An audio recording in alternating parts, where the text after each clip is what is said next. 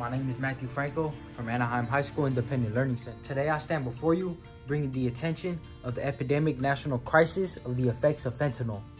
On July 29th, 2023, just days after I was released from juvenile hall, I was home having a wonderful time with my father and my siblings. While my little brother was knocking on the restroom door, nobody was answering. Unknowingly, my father was in there unresponsive due to a fentanyl overdose. One moment, I was with my father having a wonderful time. The next moment, I had my father in my arms, desperately trying to save him with Narcan.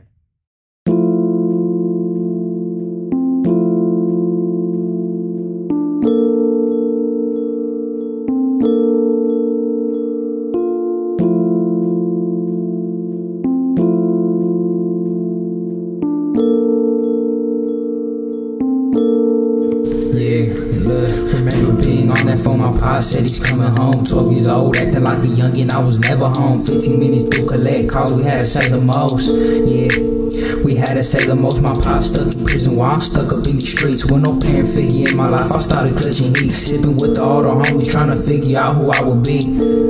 Trying to figure out who I would. I was only 17 when my dad had to go. Then kill me inside, man. Shit made me cold. Just thinking about the things you ain't gonna see when I get old. Got me acting out in anger. I don't think I have a soul. It makes you don't feel right. I ain't gonna see your face again. All those nights running mucks, I should have been with you instead. I see your face again. All those nights running mucks, I should have been with you instead. Just listen.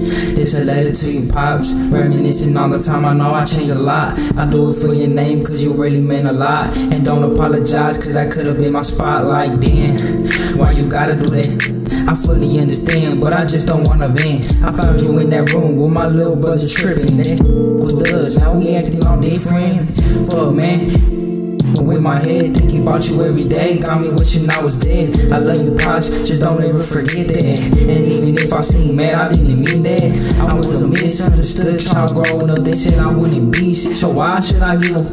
You were the only one that believed in all of us. But like I said, Pops, you're still getting all my love, just listen. This a letter to you, Pops. Reminiscing all the time, I know I changed a lot. I do it for your name, cause you really meant a lot. And don't apologize, cause that could have been my spotlight. Like, like. Long live all those who got their life taken away by drug abuse. And to the family and loved ones, keep your head up.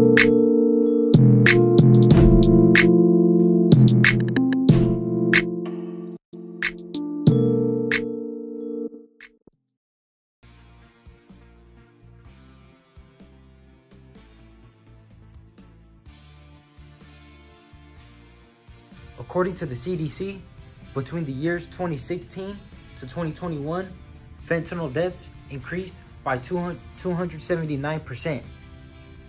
According to the CDC as well, between the years 2019 to 2021, fentanyl deaths increased by 182% between the ages 10 to 19 years old. The youth need early access and education on how to deal with the fentanyl overdose for their own safety and others so they can save a life. Some of our national policies have made the southwest border the worst it's ever been, allowing drug trafficking organizations to distribute fentanyl by kilograms. Just one kilogram has enough power to kill 500,000 people, according to the DEA. I would also recommend a moratorium against painkillers that consist of opioids because that contributes to a future drug addiction, which is exactly what happened to my father. My name is Matthew Franco, and I won't stay quiet. Thank you.